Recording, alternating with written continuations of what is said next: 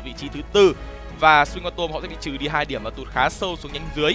Còn nếu Swing Atom họ chiến thắng với tỷ số 2-0 thì họ sẽ xếp dưới Phép TV vì hệ số của họ đang đang thấp hơn Phép TV uh, uh, với hệ số thua họ chơi nhiều ván hơn thì um, sẽ cái thứ hạng sẽ thuộc phụ thuộc về trận đấu này khi với tỷ số 2-1 hay là 2-0 nó sẽ Đồng được ý. đoạt.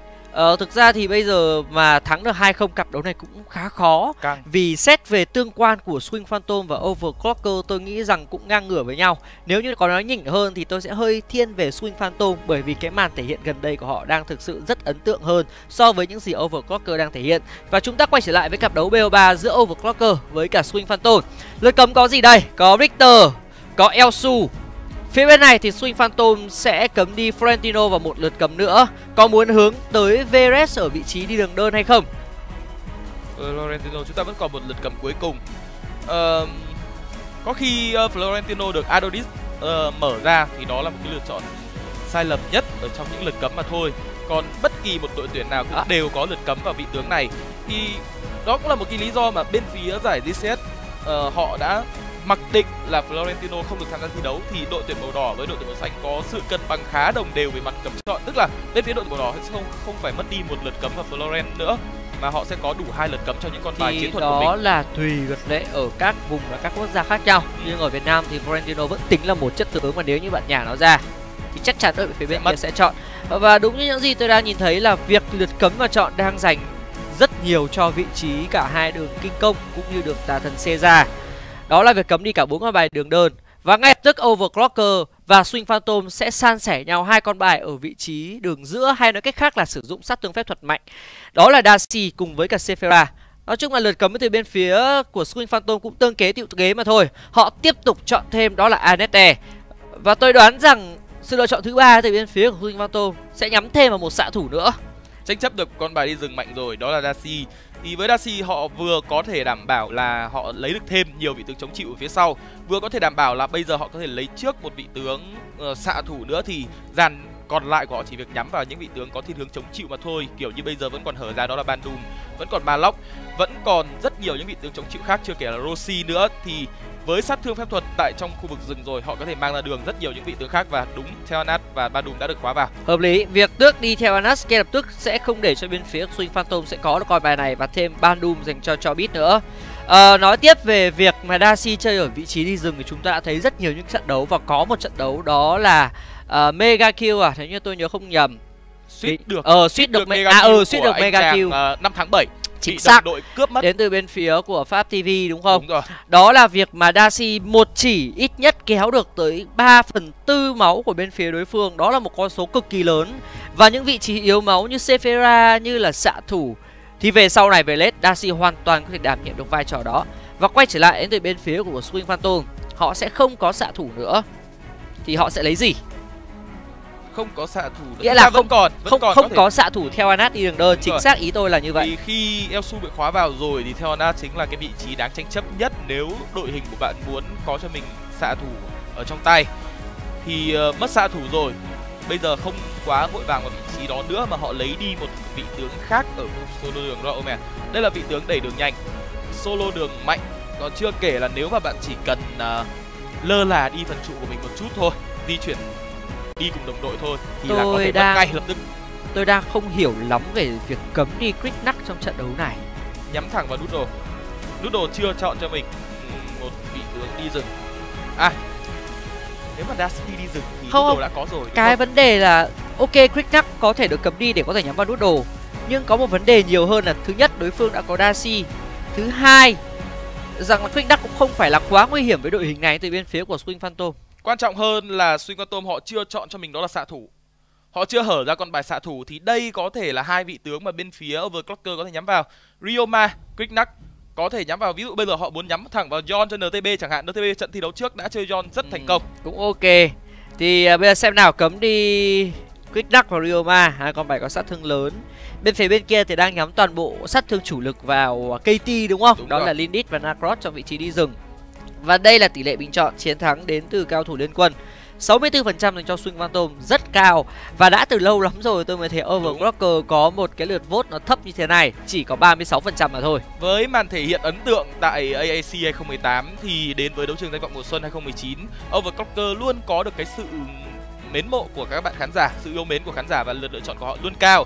Nhưng với màn thể hiện sau vài tuần đấu, vài vòng đấu vừa rồi thì đây là một cái lý giải nó hoàn toàn có thể dễ dàng hiểu được đến từ khán giả. Và chưa kể là Swing Tôm còn có một cái màn ra mắt Yamate rất ấn tượng ở vòng thi đấu trước nữa thì uh, 64% này tôi nghĩ là nó hoàn toàn là dễ hiểu thôi. Thì Superman đã được nhắm đến đến từ bên phía của Swing Tôm quyết định giấu tới cùng rồi đấy dành cho The Ref giấu là giấu tới cùng luôn giấu tới cùng đến từ bên phía Swing Tôm bởi vì dù sao bên phía của Overclocker cũng chẳng dại gì mà chọn thêm cho mình một con bài xạ thủ nữa vì dù sao họ đã có Theanas và có Darcy rồi Nếu như thêm xạ thủ thì hơi nhiều sát thương Trong khi đó dàn chống chịu của họ không được đáng kể cho lắm. À, Tôi nghĩ rằng đến 80% trận đấu này Darcy sẽ được bách vào vị trí đi rừng.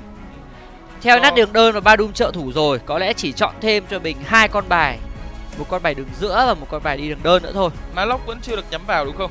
Thì hoàn toàn có thể nhắm vào Maloc khi đội hình của bạn đã có ban đung rồi Một dàn chống chịu hoàn toàn chuẩn dành cho rồi và Lauriel Thế Thực thì ra thì không có gì khác biệt cả. Về con bài Maloc thì tôi đang cảm thấy không ưng lắm bởi vì thứ nhất bên phía đối phương có Omen, bên phía đối phương có Superman nữa. Đây là hai con bài có khả năng cầm chân được Maloc rất là lâu.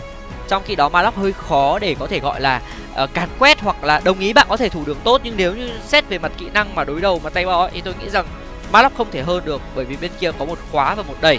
Và lần này thì Chiro sẽ đem tới con bài Laurel ra khu vực đường giữa cùng với cả Rossi.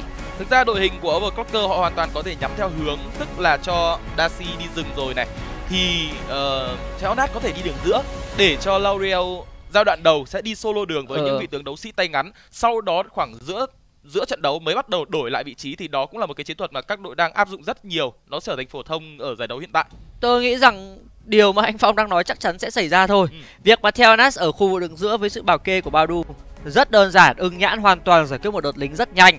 Bởi vì dù sao Sephira không phải là một chất tướng có khả năng đẩy lính nhanh. Thứ hai Laurel để xuống khu vực đường trên hoặc đường dưới đường đơn nào được. Omen và Superman không phải là vấn đề. Bạn có thể thủ trong dụ rất thành công. Và quyết định của bên phía đối phương sẽ là đánh kiểu đánh càn. Có nghĩa là sao? Có nghĩa là những chất tướng sẽ lao vào. Lao vào liên tục, tạo ra ép góc tạo ra lợi thế với Superman này, với Roker này, với Omen này. Trong khi đó, vị trí của Sephira và Anette chỉ đơn giản là ép góc và tạo ra những cái thế gọng kìm để ép vào bên phía của đối phương. Với thế như này thì ờ, uh, KT anh ta sẽ cầm cho mình đó là Rocker đi rừng. Thì có đến ba vị tướng ba vị tướng có khả năng thoát thân khỏi cú chiêu cuối đến từ ờ, uh, Darcy bên phía đội hình của Overclocker rồi. Với ờ, uh, Rocker của KT anh ta chỉ việc bật chiêu cuối lên là kháng hiệu ứng. Với Superman thì có thể bật chiêu hai lên và thoát ra khỏi được cái chiêu thức đó và thêm cả với Sephira nữa chiêu cuối cũng có thể bật lên thì đây là một đội hình uh, giúp cho họ có thể an toàn nếu như bị dính chiêu cuối của Darcy và họ có thể uh, tiếp tục cò quay để tấn công thẳng vào vị trí chủ lực của đối phương. Ừ, đồng ý thậm chí nếu như dính những chiêu cuối đó từ bên phía của Darcy hoàn toàn đội hình đến từ bên phía của Swing Phantom sẵn sàng nhào vô để có thể đánh ngược lại bên phía của đối phương. Đó là khả năng hồi máu, đó là khả năng miễn nhiễm không chế tới từ cái càng bắn càng hăng đến từ bên phía của Roker. Đội hình của Swing Phantom đánh đúng theo phong cách tương kế tiệu kế của bên phía đối phương và họ đang có một đội hình rất nhiều sát thương và trong những cái pha lao vào gây sát thương và làm choáng chi hero sẽ gặp rất nhiều những bất lợi với việc bên phía đối phương có khả năng dồn sát thương cực nhanh và thậm chí có thể đẩy L'Oreal ra khỏi cái vòng đại phán xét của mình. Rồi, đẩy L'Oreal ra khỏi vòng đại phán xét. Ờ, muốn bảo kê nhưng thực ra trận thi đấu này thì tôi thấy cũng khá may mắn cho Chihiro khi anh ta có được một người trợ thủ đó là Bandung. Vì với Bandung thì bất kỳ một nguồn một niệm một mối nguy hại nào tấn công của anh ta thì đều có thể bị bốc ra với vật nổ bộ tất. Với được sự tăng tốc đến từ cái nhận phong thần thêm cả nếu mà cho chắc cú nhá. Không sử dụng chiêu cuối để mở giao tranh nữa mà sử dụng chiêu cuối để bảo kê cho xạ thủ của mình có thể bắn ông nào lao vào úp xuống luôn. Và chúng ta đã sắp bắt đầu tiến đến với ván đấu đầu tiên. À, có vẻ như chúng ta sẽ cần uh, xem xét lại về mặt hệ thống một chút trước khi trận đấu được bắt đầu. Quay trở lại với trận đấu này thì ngược trở lại, nói về bên phía của Overclocker thì họ đang sở hữu một đội hình thiên về mặt giao tranh tổng nhiều hơn. Với những chiêu cuối theo diện gọi là ép giao tranh, ví dụ như là đại phán xét của L'Oreal ví dụ như là địa giam đến từ Badu hoàn toàn những chiêu thức đều xoay quanh hai con bài đó là L'Oreal cùng với cả Theanas thì họ sẽ cần nuôi đến hai con bài này. Trong khi đó bên phía đối phương lối đánh ngược lại hoàn toàn với một đội hình chính xác, đội hình đó là đội hình kiểm soát rừng và đội hình kiểm soát đường họ có thể ép giao tranh và họ đang có những con bài có khả năng đẩy đường rất nhanh. Và quan trọng hơn đó là một sự cơ động đến từ Superman. Đúng có được sự cơ động đó thì đây là anh chàng liên tiếp là người uh, đẩy đường nhanh sau đó di chuyển với các cánh khác những người đồng đội để tạo lợi thế. Có thể là tiến công thẳng vào rừng của đối phương luôn cũng được giống như cách mà Adonis họ làm cho ngày hôm qua. Thì họ liên tiếp tấn công thẳng vào hai cánh với cánh màu đỏ và cánh màu xanh. Cánh nào có người chấn giữ thì họ sẽ tấn công cật lực vào cánh bên kia với lối di chuyển rất ăn ý đến từ cả năm thành viên thì đây cũng là một cái chiến thuật mà bên phía của Swing họ có thể nhắm vào. Chưa kể là khi trong đội hình của Swingatom đang có đó là Yamate. Đây là anh chàng giúp cho đội hình này có sự liên kết nhất. Những lời nói mà Yamate đưa ra, những hành động mà Yamate muốn đồng đội uh, làm theo mình thì đều nhận được cái sự ăn ý và sự hợp tác vô cùng nhuần nhuyễn đến từ bên phía của Swingatom. Nói chung là đó là khả năng côn team và việc mọi người rất tôn trọng các cái quyết định của Yamate. Nó đã tạo ra được một khối thống nhất dành cho bên phía của Swingatom. Và như vậy là trận đấu đầu tiên của chúng ta đã có. Nào, à, đang nhìn ra. thấy có tư thế tâm thế lao vào cướp rừng ở đây. Thì cướp rừng uh, chủ động hơn đến từ Swingatom cướp được chứng trị chính xác. Và Noodle anh ta chỉ có một cái lập phương thứ nguyên thì không có cách nào để anh ta có thể giữ lại được cả. Chưa kể là trước đó chưa có một tình huống check tầm nhìn giúp cho anh ta. Và anh ta là người bị động hoàn toàn trong pha cướp vừa rồi. và Darcy mất bùa xanh thì cũng hơi khổ. Mệt. hơi mệt vì giai đoạn đầu sát thương của Darcy không phải là quá lớn để có thể giật dừng quá nhanh. Trong khi đó Roger với hai lần chiêu một của mình thôi và thêm một cú trừng trị nữa sát thương gây ra hoàn toàn là đủ lớn hơn so với cả Darcy. Và anh ta cướp rừng như vậy Darcy ít nhất của KT sẽ có ba bùa lợi trong giai đoạn đầu tiên này.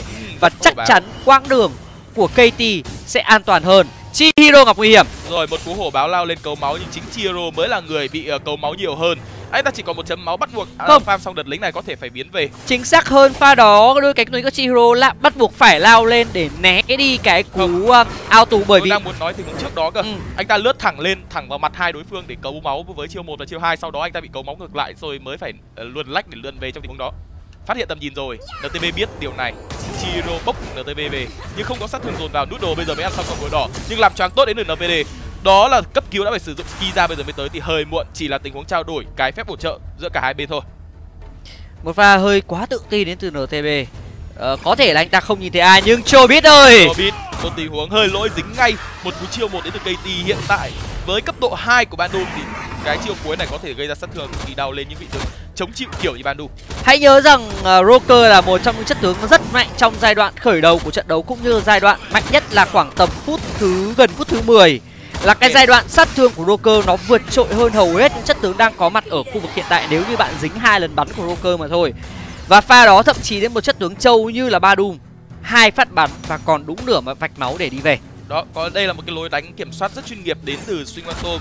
Có thể nó đến từ cách côn, uh, kêu gọi của Yamate nhưng đây là giao tranh nổ ra nút đồ bị giữ lại bởi chiêu cuối đến từ The Rep. The tấn công rất đau. Anh ta đã có được triển điển họa gục chiến công đầu bên phía KA anh ta bắt buộc phải tốc biến lui về trong tình huống này à, đấy là tăng tốc để lui về. Không lui ra được với cái ma trận thứ nguyên khi mà omen đã khóa bạn vào với cái sát vực đó. Ngay trước tôi có hỏi một câu hỏi không được thông minh lắm và tôi đã tìm ra được câu trả lời liên quan đến vấn đề này. Quay trở lại FIA tranh vừa rồi chiêu cuối của nút đồ không thực hiện được tác dụng của nó. Anh ta bị bắt và phải nắm xuống. Và với một đội hình dồi dào sát thương như swing phantom mà như chúng ta đã nhìn thấy trong giai đoạn này đây là giai đoạn overclocker bắt buộc phải chơi thủ. Họ không có cách nào có thể tấn công ngược lại bên phía của swing phantom cả thực ra với Darcy thì bạn muốn thoát khỏi chiêu cuối của Omen bằng cách là uh, bạn thực ra là phải phải là người có cái cái cái cái cảm giác nó cực kỳ tốt khi mà bạn bật đúng chiêu một vào trong cái khoảng thời gian rep anh ta lao vào thì anh ta có thể thoát được. Nhưng đó là thời điểm mà anh ta đã hết cái chiêu một hiệu lực của chiêu một của mình rồi. Đồng nghĩa việc anh ta không thể thoát về được mặc dù có cái chiêu cuối. Đường trên có tấn công KT tiếp tục là xâm chiếm vào bùa xanh đến từ bên phía của Noodle. Ờ nhưng dù sao nhìn đi nhìn lại thì cũng chỉ hơn được khoảng tầm à, một ngàn tiền thôi đây không phải là một số tiền lớn trong giai đoạn này và thậm chí cả Swing Phantom đã có cho mình đó là con rồng rồi nhưng không có gì quá nguy hiểm cả. gặp nguy hiểm anh ta bị bốc lại bị giữ chân sử dụng chiêu cuối thoát về thành công có sự bảo kê của NTB. NTB muốn phản đòn nhưng làm choáng hụt nhưng Yamate sống sót trong tình huống vừa rồi. Để bắt vào Yamate hơi khó bởi vì với cái nội tại à bởi vì với cái chiêu, chiêu cuối, cuối sóng ngầm đến từ Yamate đây là rất khó chịu đến từ Chobit. Chobit giữ chân được một người, đã bị giữ chân. Đó là The À xin lỗi các bạn, đó là Polo. Polo sống lại. Giao tranh không thể nổ ra. Chiêu cuối chúng hai người đó là Doodle nhưng không quyết định băng lên mà chỉ lùi về. Đó là tình huống phòng thủ mà thôi. Bùa xanh chưa được ăn xong. The vẫn đang cố cướp. Doodle biết điều này, anh ta không dám lao vào. KA đến anh ta phát hiện được nhưng cũng phải bỏ lui vì The bây giờ quá xanh rồi. Một pha giao tranh khá dài hơn thì bên phía của Swing Atom giá như trong pha đó KT bật chiêu cuối của mình sớm hơn thì có lẽ anh ta sẽ dướn thêm được một phát bắn thẳng vào đầu của Skiza trong pha đó và biết đâu pha đó lại có điểm hạ gục. Nhưng quyết định của KT là giữ lại chiêu cuối để phòng trừ trường hợp Noodle muốn dùng chiêu cuối để dồn sát thương vào anh ta. Và một pha giao tranh không có ai phải nằm xuống cả. Overclocker và Swing Phantom tiếp tục cái thế trận kiểm soát của mình. Vẫn chỉ là một thế trận kiểm soát với một điểm chiến công đầu thôi, nhưng Swing Phantom họ đang dẫn trước đối phương với một lượng tiền nó khá là lớn tính đến thời điểm phút thứ tư này thì với gần 2.000 tiền. Đó là một cái khoảng cách rất tốt mà Swingotom họ tạo ra trước đối phương rồi. Chưa kể là cái lối di chuyển của họ họ có một cái cách bảo kê uh, bọc lót cho nhau nó cũng cực kỳ tốt. Đi khi một người muốn đứng cao để kiểm soát dòng thì liên tiếp có những người đứng phía sau. Yamete bị bắt thì ngay lập tức có sự hỗ trợ của NTB ừ. đó là cái sự di chuyển hợp lý đến từ bên phía của Swingotom còn ở trên một giai đoạn diễn biến khác thì đó là việc Zeref ăn vào con rơi và bị Rossi KA lao tới cướp được rơi con rồng thứ hai thuộc về cho Swing Phantom với việc KT đang xanh sao hơn rất nhiều so với cả nút đồ. Anh ta đang liên tục rình rập ở trong rừng của bên phía đối phương để chờ đợi những pha gọi là bò lạc đến từ bên phía của Overclocker. Và đường giữa của uh, Yamate bây giờ đang bắt đầu được nhường thẳng cho anh chàng uh, KT cũng như là NTB rồi và lên sớm luôn đó là cái kiếm giảm hồi máu đao truy hồn Zeref ừ. để đi đối trọng lại với uh, Rossi ở phía bên kia Ờ, nhìn đi nhìn lại thì còn đó là cả Laurel nữa. Thì việc chọn đến từ Zeref uh, một cái phương án này cũng tương đối ổn. Cũng sẽ giúp cho anh ta có khả năng giảm những hiệu ứng hồi máu lên từ bên phía của đối phương để có tiếp rồi. tục cái đà cái lăn cầu tuyết của mình. rồi dính sát ngực thì khó có thể chạy được. KA đang cố không trong tình huống này. chạy được anh nhá. ta chỉ còn một chấm máu thực ra khả năng bắn của KT là rất nhiều sát thương cho nên đó là lý do vì sao tôi nói khó có thể về được trong khi đó đường dưới có dòng xanh đổ ra. Lại bởi ntb hút rất tốt và đó tiếp tục là điểm hạ gục dành cho bên phía swing họ phản đòn rất tuyệt vời trong tình huống này. Chưa hết có một chưa hết. đẩy, không trúng vào người của Noodle nhưng Noodle rất thấp máu sử dụng du hành thứ nguyên có thể thoát về không? Yamate ngụp lặn và anh ta có được điểm hạ gục trong tình huống phản ganh vừa rồi ba điểm hạ gục ở khu vực đường trên cộng thêm với khu vực đường dưới và đó là một pha làm choáng rất đẹp đến từ NTV đúng không? Đó là việc anh ta bắn ra và kéo từ từ từ từ từ từ từ, từ, từ đó, skin ra ngược trở lại. Tại vì con lính nó di chuyển. Nó nó di chuyển xa hơn và chính xác pha đó đã giúp cho em phía của Overclocker có được cái trụ ở khu vực đường dưới này. Cho biết anh ta đã sử dụng chiêu cuối khiến cho Yamate bắt buộc phải mất tốc biến nhưng không sao. Rất nhiều điểm hạ gục cộng thêm hai trụ ở hai cánh đó đã là thành công dành cho Sungatom rồi. Và bây giờ là thế trận mà họ tấn công thẳng vào bồi đỏ của đối phương. Uh, Noodle đang khó thở hơn bao giờ hết. Mặc dù giai đoạn đầu trận đấu anh ta cũng là người bị chăm sóc rất nhiều nhưng ừ. đây chính là lúc mà Sungatom họ bóp chặt Noodle lại. Đây là cái giai đoạn mà Swing Phantom bắt đầu đẩy cái lợi thế của mình gia tăng cao nhiều hơn với việc ép xuống ở khu vực đường dưới sau khi họ có cho mình hai con rồng họ ép đường trên ép đường dưới và tiếp tục đẩy thẳng vào nhà bên phía của đối phương họ đã biết đây là cái giai đoạn mà nút đồ đang rất yếu đây là một pha giao tranh 4 đánh 5 4 đến từ Overclocker. Kiến Anh là người bị giữ lại, Anh ta có quay rất tốt với khả năng lượn lách của mình. Trong khi đó Chihiro anh ta đang bay với đại bán xét Bị đẩy ra đến từ Polo. Polo tiếp tục đẩy vào người Chihiro Phía bên kia giờ hút được hai người. Anh ta tiếp tục kém với khả năng gây sát thương của mình, Nhưng nổ lọc phương thứ nguyên. Anh ta là người lên bảng điểm số. Polo gỡ gạc lại điểm hạ gục Và chiến thắng trong giao tranh này dành cho bên phía Swing Phantom. Một pha giao tranh rất khôn ngoan từ bên phía của Swing Phantom. Đó là một chiêu cuối của NTB khiến cho ba thành viên của Overclocker phải đi đường vòng. Họ không tham gia được giao tranh. Sau đó tiếp tục là những lần đẩy ở trạng thái phi hành ra của Polo Để khiến một lần nữa Laurel của Chihiro chỉ gây được một chút sát thương vỏn vẹn Trong vòng đại phán xét và sau đó bị đẩy ngược ra khỏi giao tranh. Và liên tục ở trong những góc nhỏ như vậy thì người có lời nhiều hơn chắc chắn là Swing Phantom bởi vì của họ có nhiều sát thương hơn, sát thương tầm gần và sát thương dồn trong một thể điểm của họ nhiều hơn. Họ thắng pha giao tranh và bây giờ tổng số mà họ có là 06 ba con rồng và bắt đầu mọi lợi thế bây giờ đều nằm trong tay của Swing Phantom. Bên phía của Overclocker họ thiếu đi nguồn sát thương chủ lực Đó là Skiza đang mải đẩy nốt đợt lính tiến vào. Đó là lý do vì sao đội hình của bạn có Superman nó lợi thế đến như vậy. Và bây giờ Polo anh ta đã có cái nguồn sức mạnh nó cực kỳ là dồi dào rồi. Một combo của anh ta thôi khiến cho Noodle rất thấp máu. Nhưng Yamate lại là người có hướng di chuyển bị bắt lại trong tình huống vừa rồi. Và chính anh ta mới là người phải trả mạng. Ờ, chính xác pha này Yamate hơi tham. Đúng. Anh ta lao vào hơi sâu và bị dịch một cú bất tổ bộ tuất đến từ cho nào KA người nhưng vẫn muốn chơi Cho biết còn nửa cây máu. Còn Skiza thì ta vẫn cố đẩy đi đợt lính này. Chỉ là một tình huống muốn hù dọa đến từ bên phía Swing Tom thôi Còn bốn người mà dám hù đến cả năm người phía bên kia. Ờ, chênh lệch tiền bây giờ rơi vào con số 7000 Nhìn kỹ hơn vào vai vị trí sủ chốt là xạ thủ đường giữa cùng với đường rừng Thì đâu đấy tính sơ sơ mỗi người sẽ kém bên phía đối phương từ 700 cho tới 1000 tiền.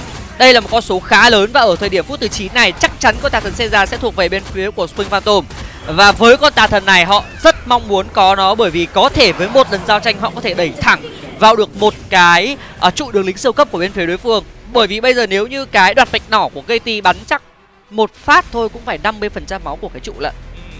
để cho KT áp sát được vào trụ thì cũng khá là khó vì uh, tầm dọn lính của Overclocker cũng khá là dài với những cú lập phương tướng nguyên hay chiêu một của Skiza được kích hoạt lên nữa thì tầm bắn cũng khá xa thì đây là cách mà Swing Atom họ thả con rồng Monster. Đó là họ thả từ rất sâu trong nhà của mình nó có thể tiến hóa được rất nhiều đây là một cái thế rất thông minh. Ừ. họ thả con rồng ở khu vực phía đường dưới họ ép giao tranh ở khu vực phía đường trên. Khi khoảng thời gian của con rồng chạm vào cái trụ thứ hai ở khu vực đường dưới nó sẽ vừa kịp lúc hai đợt lính đường trên và đường giữa sẽ ép thẳng vào nhà của bên phía đối phương đây là một thế ép bao sân dành cho bên phía của Swing Phantom và họ đang bắt đầu triển khai rồi này. Đồng Kiểu ý. gì họ cũng vẫn có trụ ở bất kể một đường nào. Quan trọng là khi bạn thả lính như này thì cái đợt lính mà được cường hóa nó sẽ nhiều hơn so với và lâu bạn, hơn, lâu hơn so với cách mà bạn thả ở ngay trước mặt nhà đối phương. Đó, lính tiến vào. Với cách thả như này bạn có thể lấy được một đến hai đường lính siêu cấp của nhà và đối phương. Và ngay khi tốt. đường dưới chạm vào cái trụ thì cũng là đường trên chạm vào cái trụ. Và NTB anh ta lao vào mở giao tranh nhưng thấp máu quá đó là NTB bị bốc hơi dưới sức sát thương của Skiza và đợt lính này Swing Overclocker họ đã phòng thủ thành công. Con rồng cũng đã phải nằm xuống mà Swing và họ chưa lấy được bất kỳ một đường lính siêu cấp nào khá đáng tiếc đến từ pha xử lý của NTB Và này chính xác là NTB muốn đánh Nhưng bốn thành viên còn lại của Swing Phantom nói là không muốn đánh. À, Nếu như được xem lại đó là pha NTB la vào khoảng tầm 2 giây toàn bộ đội hình Swing Phantom lui về. Ra. Đúng rồi Được một pha gọi là con team hơi sai lầm từ bên phía Swing Phantom Và họ đã mất đi con rồng tiên phong ở một cái thế rất đẹp. Nhưng dù sao nhìn lại hoàn toàn dàn trụ ngoài đã được bên phía của Swing Phantom lấy đi hết và Overclocker tạm thời vẫn chưa có một cái mục tiêu lớn nào của bên phía Swing Phantom. Thực ra cái mục đích thả rồng như kia thì Swing Phantom họ đã đặt ra rất rõ ràng rồi là họ muốn lấy được lịch siêu cấp chứ không phải lấy cả trận đấu.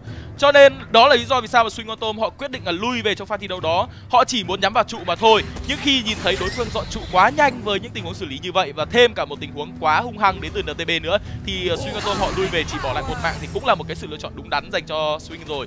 Chỉ đáng tiếc là họ không lấy được bất kỳ một đường lính siêu cấp nào để tạo lợi thế nó giãn cách hơn so với đối phương mà thôi. Hãy nhớ rằng đây là một thời điểm rất đẹp của Roker và nếu như qua cái thời kỳ hoàng kim này thì Roker bắt đầu bị khựng lại. Nghĩa là Roker sẽ chỉ mạnh lên ở khoảng tầm phút thứ 13 chắc là kịch kim. Tôi nghĩ rằng bây giờ cũng gần kịch kim rồi. Trong khi đó thì sát thương về lâu về dài của bên phía Overclocker ngày càng tăng, ngày càng tăng. Họ cố gắng, nghĩa là chừng nào, chưa mất đi một cái trụ bậc thềm nào, Thì khoảng thời gian bạn câu kéo trận đấu này sẽ càng càng xa hơn thì đây là một cái thế overclocker cần phải giữ càng lâu càng tốt để khiến cái nguồn sức mạnh của KT sẽ phải giảm xuống. Bởi vì nếu như so sánh sức sát thương về cuối game, tôi vẫn cộng một vote cho Theonas cùng với cả L'Oreal. Hoàn toàn đồng ý với Trương Huy vì đến cái giai đoạn mà Roker bắt đầu khựng đi cái lượng sức mạnh của mình thì đó cũng là lúc mà Theonat, đó là lúc mà Chihiro hay Doodle với những vị tướng như này, đó là lúc mà sát thương của họ gây ra là nó vượt trội nhất.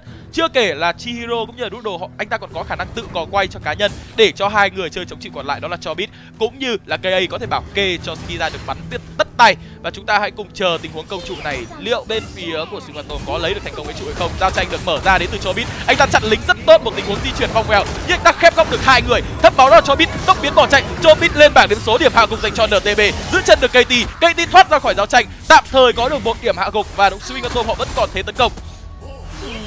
Xem nào đường giữa ngăn được rồi. Đường dưới cũng Ui. ngăn được luôn. Không sao không sao tạm thời, mặc dù họ có phải nằm xuống là hai người, nhưng ít nhất họ chống chịu được hai đợt lính đẩy vào. Nhưng bây giờ chỉ còn Chihiro và Skiza, liệu họ có đép được cái trụ này hay không? Rất thấp máu. Rất nhiều thành viên đang thấp máu rồi. Chỉ có một mình The Raptor. Anh ta tốc tiến thẳng lên. Chiêu cuối hình như là hụt. Và anh ta đang banh sát thương đến từ trụ. Anh ta đã mất đi cái giáp hồi sinh của mình. Polo phải bỏ chạy bị trụ bắn. Polo lên bảng điểm số. Zerep là người thứ hai. Ntb có thể là người thứ ba. Không đó là yamate. Nt bây giờ mới chạy thì đó là điểm hạ gục dành cho skiza. Bốn điểm hạ gục dành cho overclocker trong tình huống vừa rồi. Double kill dành cho Chihiro. Phải nói rằng họ đã rất cố gắng để chống chọi lại đến ba đợt thậm thậm chính tính ra là bốn đợt. Cả một đợt lính ở khu vực đường trên vào nhà của bên phía Swing Phantom nữa. Đổi lại thì uh, Swing Phantom đâu đấy chỉ lấy được khoảng tầm đến 80% của máu của cái trụ thôi Nhưng đó vẫn là một nỗ lực rất đáng khen ngợi dành cho Overclocker. Họ có thể kéo dài trận đấu này lâu hơn. Noodle Noodle di chuyển sai. Đau quá. Một chiêu một anh ta ngay lập tức bốc hơi trắng máu. Thêm cả Chobit nữa Chobit tầm cỡ cứng như nay Còn bị KT bắn cho ra mù thì không biết là Noodle đã phải chịu những sát thương nó đau đớn như thế nào. Nhưng quay trở lại pha tranh vừa rồi thì Overclocker chính thức bây giờ có thể giao tranh được ngược trở lại với cả bên phía Swing Phantom Nhìn vào đồ của Skiza họ Anh ta đã có bốn món đồ chính và đã có cung tà ma Có nghĩa là khả năng sống sót trong giao tranh Có cơ hội rất cao với khả năng hút máu. Và quan trọng họ vẫn chưa mất đường lính sâu cấp nào cả. Ờ, đáng tiếc hơn cho overclocker khi đó là một tình huống mà họ quét đến bốn thành viên nhưng không có mục tiêu lớn nào trên bản đồ. Đó là con Seiza hay con tượng bảo chúa lúc đó mà có thì sẽ một cái thế trận nó dễ lật hơn dành cho overclocker. KT đang di chuyển rất khôn ngoan bị phát hiện bởi KA và lui về thành công. Cái mưu đồ của anh ta đã bị phát hiện và đây là lúc mà Swingatom họ nhắm thẳng vào con Seiza này. Tiếp tục là một đợt lính vẫn phải cần. được buff nữa dành cho Swingatom vẫn phải cần uh, con uh, dùng tiên phong bởi vì Swing Phantom không có sát thương tầm xa. LTB anh sát ta là người đứng sát chặn. sát thương phá trụ tầm xa của họ là không có. Chắc chắn là không không cướp được rồi, khó lắm. Ôi, giữ được NTB NTB còn một chấm máu, anh ta thoát về được Polo là người cản pha giao tranh này. Chihiro là người thâm máu địa giam chúng một người thôi. Nhưng đó là không sao, vì Swing Phantom họ vẫn còn khả năng băng lên đến từ Zerep Zerep bắt được người của KA KT lấy được con bồ xanh quãng sau đó quay ngược trở lại tìm kiếm các điểm hạ gục của mình. Yamate làm trái được ai không? Không KA mới là người phải nằm xuống, tiếp tục tấn công vào người của đó là Skiza, mất đi giáp hồi sinh, sống lại thì cũng đã phải nằm xuống. Sát thương của KT là quá nhiều trong trận thi đấu này và mất đi hai thành viên thì chắc chắn là cái dàn trụ này cũng không thể nào đứng được lâu hơn nữa. Skiza muốn cứu người đồng đội của mình. Nhưng anh ta đã sai vì đó là một thế khép góc rất tốt đến từ bên phía của Swing Phantom. Và nếu như khoảng tầm 25 giây nữa rất có thể Swing Phantom sẽ lấy được cả trận đấu này. Bởi vì bên phía đối phương không còn sát thương chủ lực. Một mình L'Oreal, một mình nút đồ là không đủ cho đội hình này. và con rồng nó đã tiến đến rồi một đường lính siêu cấp cho Swing Phantom DTB rất hổ báo lao vào làm choáng tiếp theo được hai người đó là Yamate. Bị giữ chân đó là Noodle anh ta ngay lập tức bốc hơi. Và tan vỡ đó là đội hình của Overclocker. Bên phía Swing Phantom họ dẫn trước về mặt tỷ số 1-0 Hơi khó, hơi khó cho Overclocker. Mặc dù kéo được NTB nhưng đó là Anete Anete. Bởi vì đối phương không có Darcy cũng chẳng có Badu trận đấu này nữa. Việc cấm đi như kiểu Sephira này Cấm đi Elsu này. Bên phía đối phương thì cấm đi kiểu Florentino Cộng thêm một lượt cấm nữa. Đấy. Thì nếu như Nếu như để hở Veret thì chọn Veret. Mà nếu như bên kia cấm vào Richter thì à, à cấm vào Veret chọn Richter, cấm Richter chọn Veret. Kiểu gì thì bên phía của Sinh Phantom vẫn Vẫn có lời lợi. trong sự lựa chọn đầu tiên. Đúng. Và chưa kể là bây giờ anh Trung Huy nói tôi mới nhớ ở bên đội đỏ bạn còn mất đi thêm một lượt cấm dành cho Florentino nữa. Thì cũng là một cái bất lợi dành cho Overclocker khó khăn thì nó liên tiếp lại trông chất khó khăn rồi thì bên phía của Swing Phantom chủ động cấm vào Severa vì ván trước đã sử dụng rồi. Một con bài đi đường giữa gây sự khó chịu rất nhiều dành cho đội hình của bên phía Overclocker. Thì lượt cấm thứ hai họ tiếp tục nhắm vào đâu đây? Có thể là Elsu. Nếu họ muốn lấy trước ờ, vị một vị trí solo đường như Richter hoặc là Veret Đó, Elsu. Nên cấm vào Elsu bởi vì nó sẽ ép cho cái thế Overclocker kiểu gì cũng mất. Ờ, Trừ khi Overclocker sẽ nhả ra cả hai Thì ít nhất mỗi bên sẽ có một con. Đó, mà bây giờ bạn lấy trước một vị trí solo đường rồi thì lượt chọn thứ hai bạn vẫn có thể lấy được theo Anat. Xạ thủ rất thuận tay rất mạnh. Theo Anat Pena hoặc theo Anat Ban đúng tại vì vấn đề trong màn đấu này của Overclocker không thể nào có hai con bài gọi Đấy. là chim ưng chim sẻ ở ngay trong lựa chọn đầu tiên. Ờ, nhưng đổi lại họ có thể chọn những con bài đứng đơn khác mạnh giống như Ryoma, giống như Malok trong những sự lựa chọn đầu tiên hoặc thậm chí là Anete trong sự lựa chọn đầu tiên hoàn toàn được. Không phải là một vấn đề gì quá nan giải cả. Veret một sự lựa chọn tất lẽ dị ngẫu dành cho bên phía của Swing Phantom với kiểu cấm chọn như thế này. rồi có Veret rồi thì um, thứ tôi nghĩ lượt thứ hai nên chọn luôn uh, bộ đôi xạ thủ hỗ trợ đi còn nếu không thì tôi nghĩ là cái lượt fake bạn uh, à, fake cấm thứ hai đã bị cấm đi từ Overclocker thì hãy cùng chờ xem giải bài toán khó khăn này đến từ bên phía Overclocker như thế nào khi họ đã mất đi rất nhiều những vị tướng mạnh sau ván đấu đầu tiên rồi. Đây cũng chính là một cái điểm hay đến từ bên phía của ờ, luật cấm chọn quốc tế.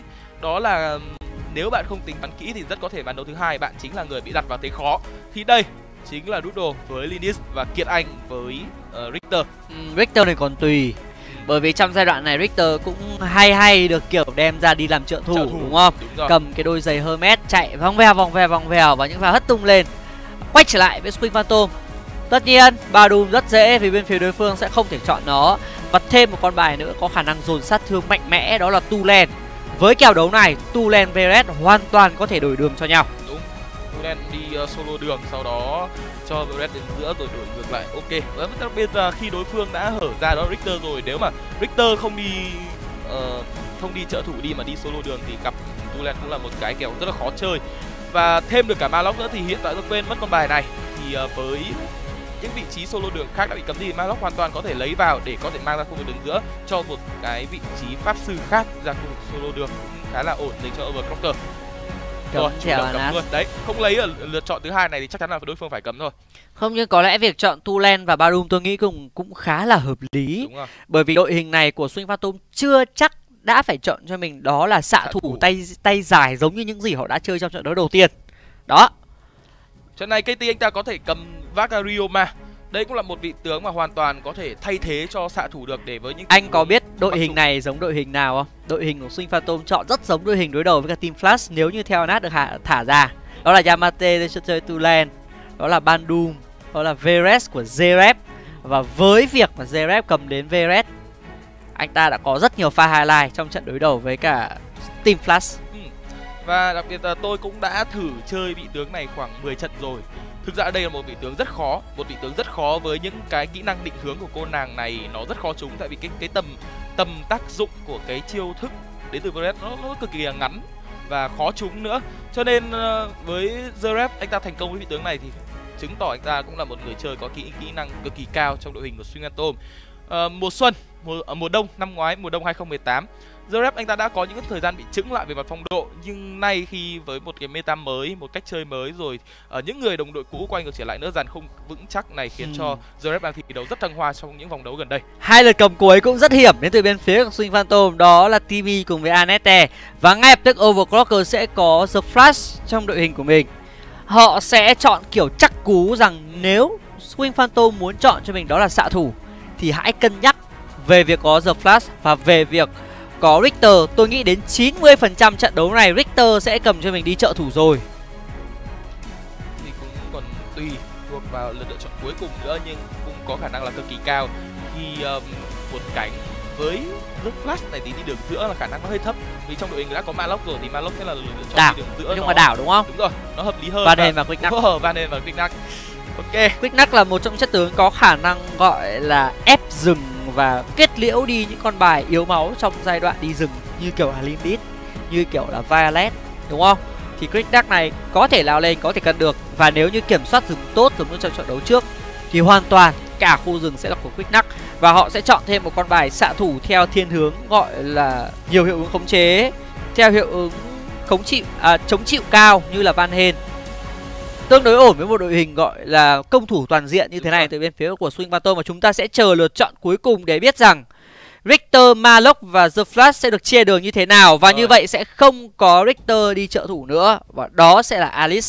Alice trợ thủ Ờm, đội hình của Sinh Atom nó còn có một điểm mạnh nữa đó là cái hiệu ứng khống chế cũng như những cái hiệu ứng mà họ có thể gây ra là cũng rất nhiều đi khi với Veret ờ, với hai chiêu thức có làm choáng rồi giữ chân đối phương thêm cả Bandung với khả năng hất đối phương về nữa rồi khi mà bị hất về thì Van Halen liên tiếp là đáp những cái choáng vào vào đầu của đối phương thôi nó Nhưng- cũng là một đội hình rất khó chịu đến từ Swing Atom Nhưng đội hình này sẽ rất sợ những chiều cuối như dòng chảy thời không đến từ Alice.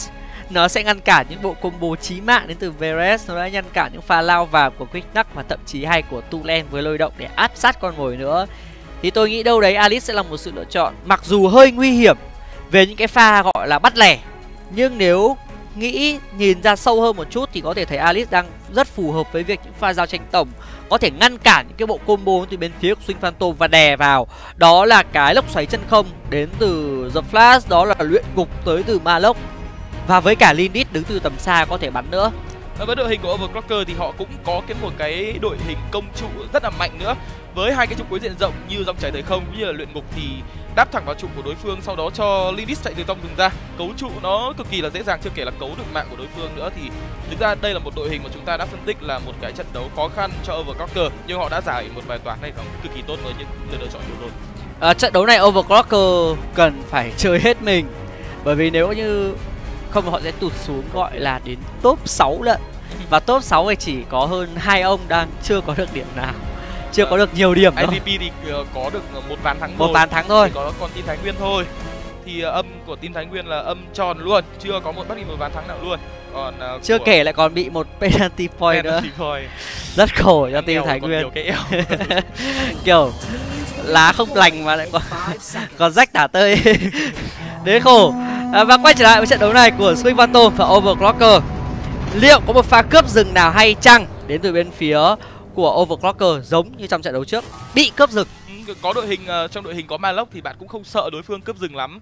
Và cũng như là có sự rút kinh nghiệm từ ván đấu đầu tiên thì đây là ván đấu mà bên phía Overclocker họ chủ động khởi động với bốn người ở cùng một cánh chứ không còn chia ra ba hai ở ở hai cánh khác nhau nữa.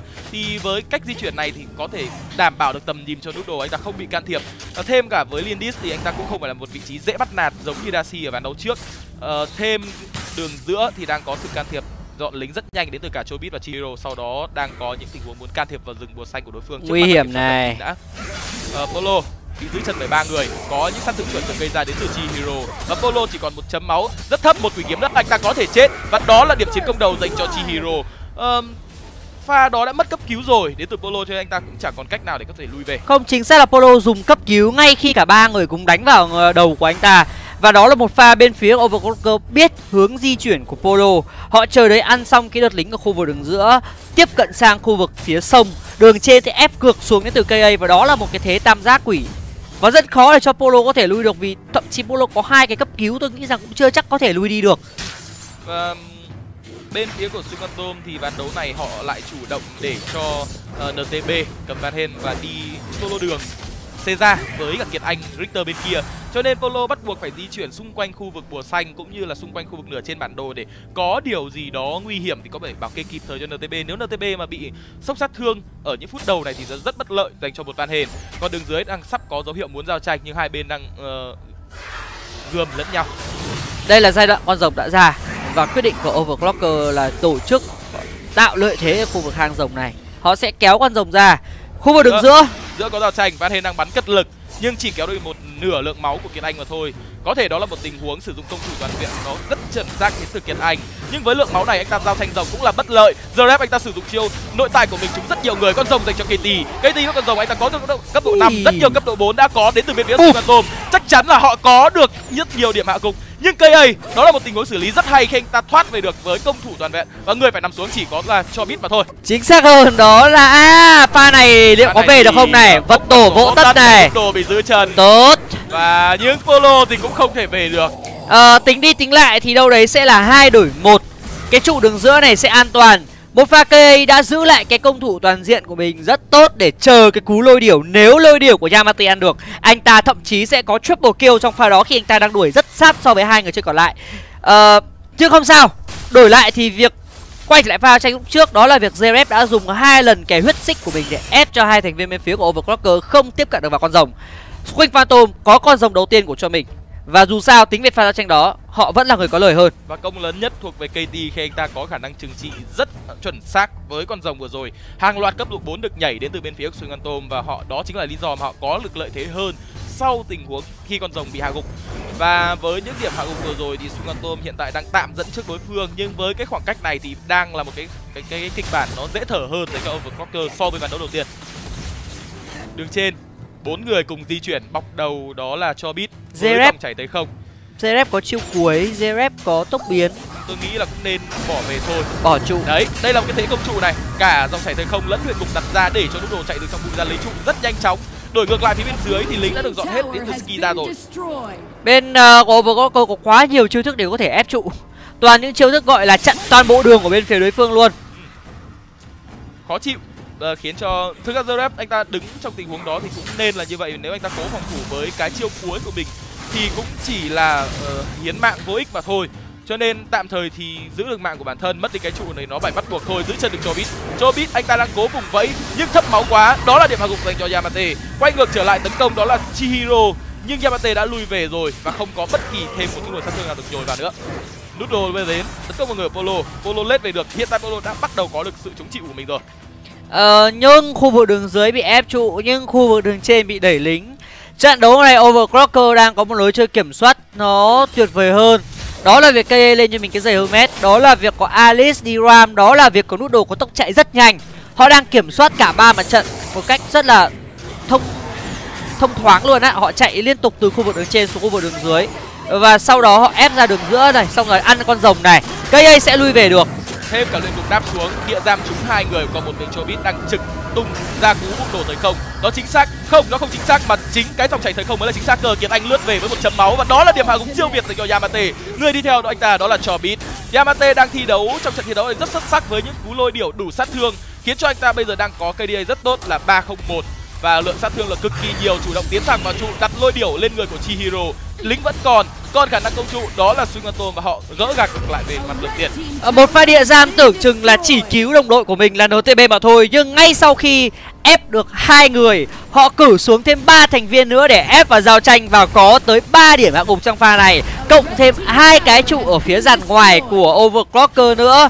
Swing Phantom đang tiếp cận con mồi của mình và Kiệt Anh anh ta có rất rất nhiều sát thương với chiêu cuối của mình. Polo lên bảng điểm số. Kiệt Anh là người có điểm hạ gục bị tấn công bởi Yamate Yamate thoát được khỏi cái khả năng làm choáng đến từ Chobit. Và anh ta cũng không sử dụng lôi điều thành công vì KA có chiêu hai rất chuẩn xác trong tình huống của đó vừa rồi. Yamate có lẽ phải thừa biết rằng KA còn đó là chiêu hai. Anh ta không nên tham như vậy.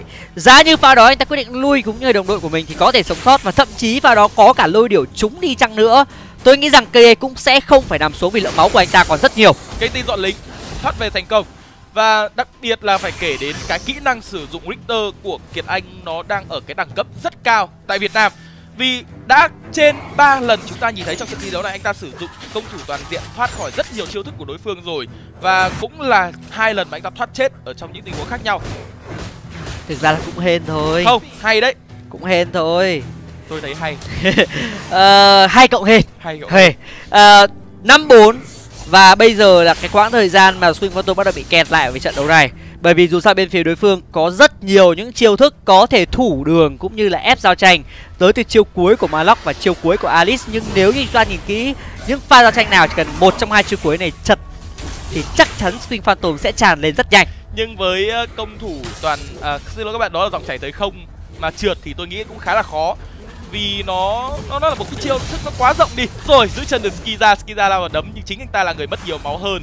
Nhưng đây là thế ép trụ với bốn người. Skiza còn chiều cuối, anh ta tự tin lao vào để cấu máu Zerep Zerep bắt buộc phải bỏ trụ để thoát thân. Diamante đến. Anh ta muốn dọn lính nhưng bị câm lặng bởi dòng chảy thời không. Cái trụ vẫn còn một chấm máu và đã có trụ dành cho overclocker, thi đẩy trụ đến từ cả hai bên. Kiệt anh là chỉ cũng là người bị nằm xuống ở phía bên kia bản đồ. Chihiro bị giữ lại bởi polo. Polo tiếp tục tấn công vào người. Chihiro giờ đáp đến, có khả năng tăng tốc đến từ polo. Lao vào với đoạt mệnh xích. Sau đó chihiro quay ngược trở lại trả sát thương với lượng sát thương chuẩn. Yamate bọc đầu. Yamate đang muốn lao vào. Thêm cả cây KT nữa. Đã có hiểm họa không trung tấn công vào người của chobit. Chobit tập dòng chảy không nhưng không đủ để thoát về. Chihiro bắt buộc phải đi bụi. Có chiêu cuối lôi điều và người của Chihiro và đây là rất nhiều điểm hạ gục dành cho bên phía của Swing Phantom. Rồi.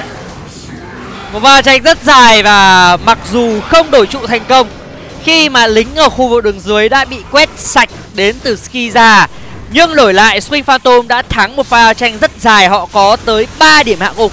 Và họ đang quay ra đây để ăn cho mình con tà thần Caesar không cướp được. Có lẽ Kiệt Anh sẽ phải trả giá với việc lao vào của mình. Rồi vẫn tiếp tục là một cú trừng trị chuẩn xác và nó quan trọng đến từ KT giúp cho bên phía Phantom giữ được những lợi thế của mình. Đó là một tình huống mà Kiệt Anh anh ta rất tự tin băng vào với toàn bộ bộ chiêu thức nhưng KT vẫn có một cú trừng trị chuẩn xác ở đủ lượng máu con Caesar vừa rồi. Phải nói rằng là Zerep đang chơi Sephira một cách rất tinh quái. Nếu như chúng ta nhìn lại pha tranh ở khu vực đường trên À con um, con không phải Severa mà là con Veres. Con con, con Veres của Zeret tôi nhớ lộn. Rồi. Đó là việc mà anh ta không tốc biến ngược về nhà mà tốc biến sang phía bên tay phải của bên phía của đối phương và tiếp tục quay ngược trở lại ép giao tranh. Giao tranh to ở trong rừng, luyện ngục chỉ trúng một người, địa giam thì lại trúng hai người. Yamate đang trực gây sát thương và anh ta bắt đầu có được điểm hạ gục. Một điểm dành cho Yamate, nhưng anh ta phải bỏ ra. Đó là Polo. Polo bị Kiệt Anh hạ gục. KT đang chọn góc để lao vào. Phía bên trên con rồng đã chạm được vào trụ rồi thì đồng nghĩa với việc giao tranh đang muốn kết thúc đến từ Overclocker. Họ muốn dọn lính hơn là muốn đánh nhau. Skiza đã tạm thời dọn được lính nhưng cái trụ đường trên thì không có chân để chạy. Nếu như bảo đổi một Polo lấy một nút đồ thì tôi cũng đổi đổi luôn. Và có con rồng nữa chắc chắn sẽ có rất nhiều thứ dành cho bên phía của Swing Phantom. Cái tí rất hổ báo, anh ta lao vào cấu được một lượng máu rất thấp đến từ Skiza. Bên phía của Chihiro đã họ đang bán chính lối điểu! để lấy máu của con rồng monster nhưng con rồng monster vẫn còn một nghìn máu và nó có thể cấu đi lượng trụ này. Quan trọng hơn là hở ra một khoảng trống để cho Swing Phantom lấy được trụ ở các khu vực khác. Liên tục là những vị trí chủ chốt phải nằm xuống, đó là đút đồ, đó là Chihiro và bây giờ phải dùng chiêu cuối từ Skiza băng cả trụ đến từ Zeref với đoạn mệnh xích lao vào, hồi máu tới từ huyết xích, anh ta lui về được với việc không mất đi mạng của mình. Zeref đang có rất nhiều những pha highlight liên quan tới con tướng Veret này. Rất đáng tiếc trong tình huống đó khi uh, camera focus vào người Ê, giờ flash nằm xuống này. đường trên thì KT đang tung cánh chờ mục tiêu nhưng lại không lao vào. Rất đáng tiếc trong pha vừa rồi. Thôi thế là coi như là đến 90% là mất đi vị trí số 5 rồi. Mất rồi và Swing Phantom thì số 4 là Phát TV, số 5 là Swing Phantom. Chúng ta cùng chờ kết quả chính thức của trận đấu. Tôi bảo rồi, nếu như Swing Phantom cứ đánh kiểu này kiểu gì cũng lên được top 4. Đúng. Đánh rất ăn khớp với nhau. Và ba đường lính siêu cấp cho Swing Phantom địa giam vào người của Chobit. Chobit lết qua được khỏi cái địa giam đó nhưng lính đang dần dần tiến vào. Bên phía Phantom bốc về đó là Chiro Chiro chỉ có nước bỏ chạy mà thôi. Yamate cũng bị trả sát thương rất đầu tốc biến lao vào đó là Yamate. Anh ta gây rất nhiều sát thương. Có cái quyền triệu Ria được kích hoạt nhưng anh ta không thể lui về được. KA đã máu KA thoát ra được. KA bị tấn công bởi NTB NTB có điểm hạ gục chiến thuyết nhưng NTB cũng đã phải bỏ lại cái mạng của mình. Zerep có đoạt mệnh xích và đoạt mệnh được cho Bit trong tình huống rồi. Người cuối cùng lên bảng đó là Chiro có một mình Skiza thì anh ta không thể làm gì được. Và hai không dành cho Swing Phantom. Swing Phantom đã chơi rất hay ở trận đấu này. Triple kill dành cho Veres trong tay của Zerep ừ. Phải nói rằng Zerep đang chơi rất rất hay con bài Veres này của anh ta. Hai trận đấu mà anh ta đem Veres vào thi đấu tôi thấy rất nhiều những pha highlight Đặc biệt là cái việc huyết xích nội tại đến từ Veres. Anh ta căn một lúc trúng rất nhiều những mục tiêu để khiến cho Veres có khả năng hồi phục và tháo lui ra khỏi cái pha giao tranh Và tiếp tục quay ngược trở lại để có thể trả sát thương. Và thậm chí trong pha giao tranh cuối cùng Veres băng trụ. Mà lượng máu của Veres vẫn còn trên tới 80% sau khi hạ gục được Lindit là